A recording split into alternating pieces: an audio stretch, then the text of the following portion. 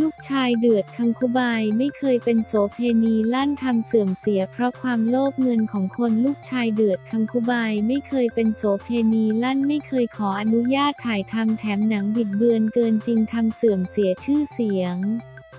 เพราะความโลภเงินของคนหนึ่งในกระแสภาพยนตร์สุดร้อนแรงบนโลกออนไลน์ที่ควรค่าแก่การรับชมในขณะนี้ คือหญิงแกร่งแห่งมุมไบ กันกูไบ คาทาวดี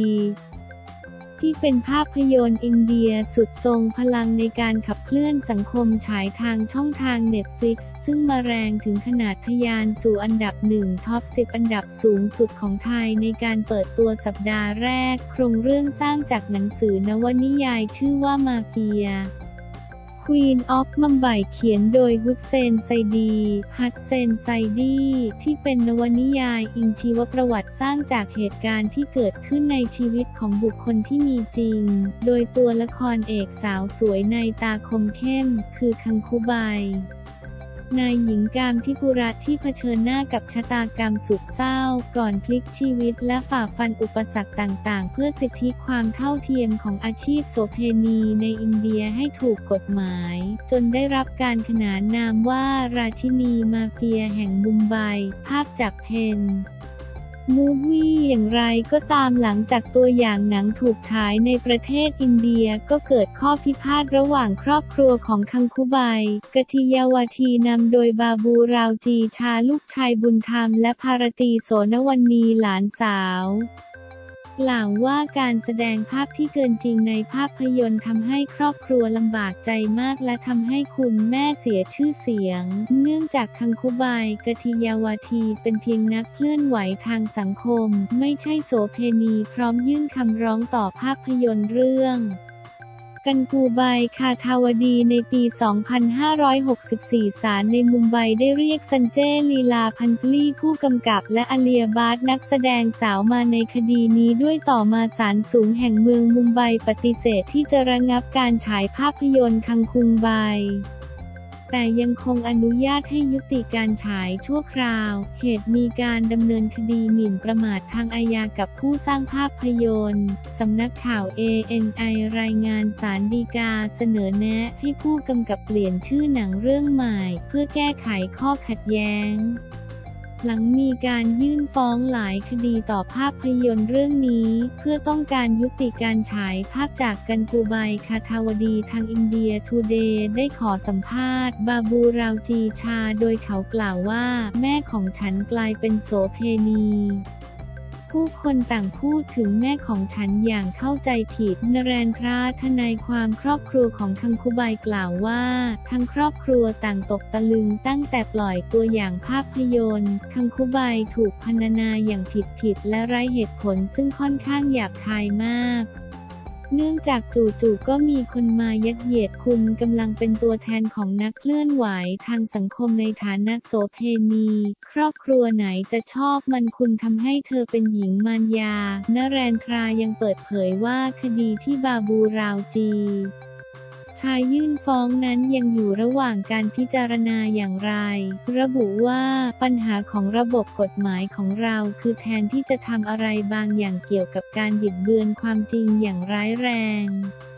แต่คุณถูกขอให้แสดงหลักฐานว่าเป็นลูกชายของคังคุไบจริง ๆ หรือไม่แม้ว่าเราจะพิสูจน์ในศาลแล้ว แต่ก็ไม่มีอะไรเปลี่ยนแปลงตอนนี้ ภาพจากอเลียพัท กันกูไบส์แฟมิลี่อาโฟโต้คอเทซี่อัตตาการต่อสู้ของเราเริ่มต้นในปี 2563 เมื่อลูกชายรู้ว่ามีการสร้างภาพยนตร์เกี่ยวกับชีวิตของคังคุไบ หลังจากได้เห็นรูปแม่ของเขาในการโปรโมทภาพยนตร์เรื่องนี้ ตั้งแต่นั้นมาครอบครัวหลบซ่อน ยายบ้านและญาติญาติหลายคนตั้งคำถามว่าคังคุบายเป็นโสเพณีจริง ๆ หรือไม่มีใช่นักสังคมสงเคราะห์อย่างที่บอก ตอนนี้สภาพจิตใจของครอบครัวย่ำแย่ไม่มีใครอยู่ได้อย่างสงบสุขเราได้ส่งหนังสือแจ้งไปยังซันเจ้ ลีลาพันซลีผู้กำกับและฮุสเซนไซดี ผู้เขียนหนังสือที่ดัดแปลงเรื่องราวของคังคูไบโดยอิงจากเรื่องราวที่ผู้คนในละแวกใกล้เคียงและคนรู้จักของเธอ ซึ่งเขาได้เขียนหนังสือโดยไม่มีหลักฐานใด ๆ อย่างไรก็ตาม ไม่ได้รับการตอบกลับจากพวกเขาขณะนี้สถานะคำร้องอยู่ระหว่างการพิจารณาของศาลฎีกา สิ่งที่เราได้ยินก็คือเรื่องสามารถเกิดขึ้นได้ตลอดเวลา ความหวังสุดท้ายของเราอยู่ที่ศาลฎีกา พราะไม่มีการยื่นเรื่องเช่นนี้ในระบบตุลาการของอินเดีย ภารตีสนวณีหลานสาวของคังคุไบกล่าวว่า ผู้กำกับดูหมิ่นภาพลักษณ์ของคุณยายทำให้ครอบครัวเสียชื่อเสียงเพราะความโลภเงิน ซึ่งไม่มีใครรับได้ คุณไม่ได้ขอความยินยอมจากครอบครัวก่อนที่จะดำเนินการสร้างโปรเจกต์นี้ ไม่ได้มาหาเราขณะเขียนหนังสือและไม่ได้ขออนุญาตเราก่อนสร้างภาพยนตร์ด้วย ทนายความของเรากำลังดำเนินการเพื่อหยุดยั้งไม่ให้มีการฉายภาพยนตร์ เรากำลังถูกปฏิเสธความยุติธรรมและโอกาสตั้งแต่ปี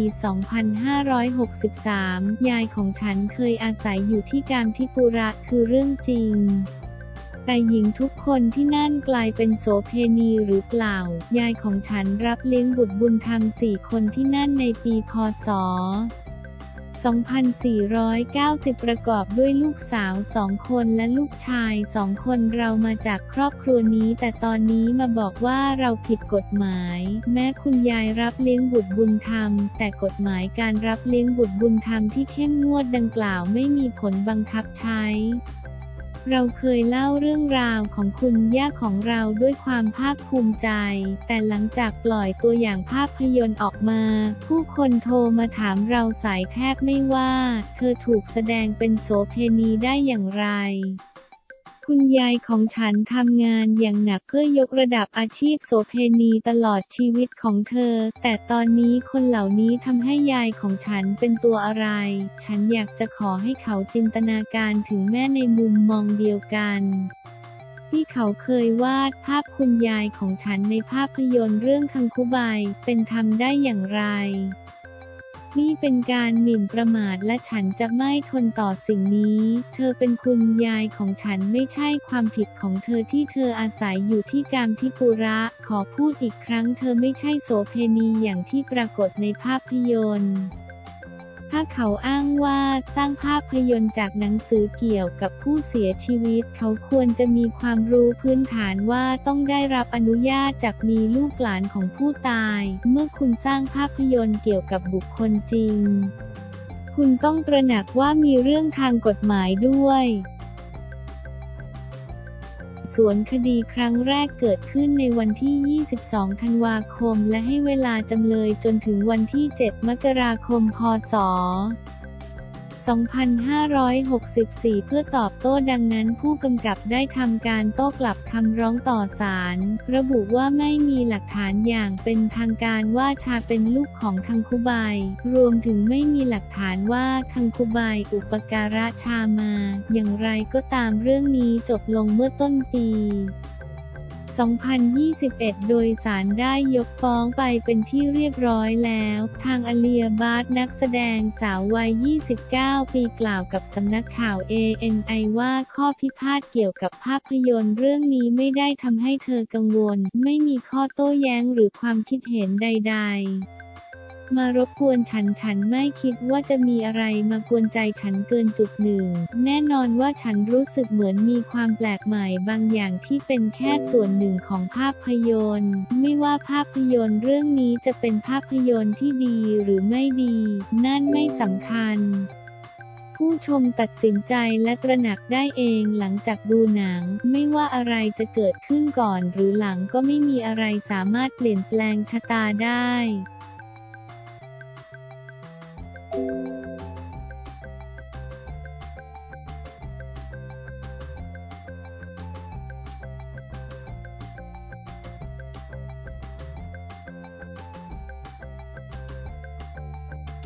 นนาตาบอยสเกลงานเข้าปมหวยทิพย์หลัง นอทกองสลากพลัสแจ้งความแอนนาตาบอยสเกลงานเข้าปมหวยทิพย์หลัง นอทกองสลากพลัสแจ้งความชี้หวังให้หยุดพฤติกรรมแต่กลับยังทำอยู่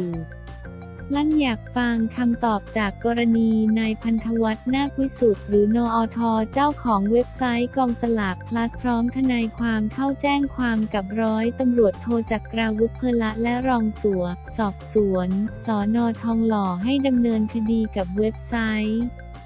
โชคดีลอตเตอรี่ออนไลน์หลังขายหวยทิปอ่านข่าวนอทกองสลากพลัดแจ้งความเว็บขายสลากเงาล้านทำให้สะอาดไม่ใช่ตั้งตัวเป็นบ่อนล่าสุดวันที่ 14 พฤษภาคม 65 นอทพันธวัฒน์ได้โพสต์เฟซบุ๊กระบุว่าผมนายพันธวัฒน์ นักวิสุทธ์ในฐานะนายกสมาคมผู้ค้าลอตเตอรี่ออนไลน์ ผมขอเรียนถามคุณแอนนา และคุณตะบอยสกาวว่าในฐานะที่คุณทั้งสองเป็นคนมีชื่อเสียง อะไรเป็นสาเหตุที่ทำให้คุณเสี่ยงและตัดสินใจ มีส่วนร่วมในการทำเว็บไซต์ลอตเตอรี่ออนไลน์ที่ขายหวยทิพย์ขายสลากกินแบ่งรัฐบาลโดยไม่มีใบจริง ในวันที่ 10 พฤษภาคม 2565 ผมได้มอบหมายให้ทนายไปแจ้งความดำเนินคดีกับเว็บไซต์ของคุณแล้วสองคดี โดยผมหวังว่าคุณจะหยุดพฤติกรรมดังกล่าว เพราะเข้าข่ายความผิดถึงสองข้อหาหนักคือเชิงโกงประชาชนและนำข้อมูลเท็จเข้าสู่ระบบคอมพิวเตอร์ และยังอาจจะผิดตามพรบพนันข้อหาเป็นเจ้ามือรับกินรับใช้ด้วย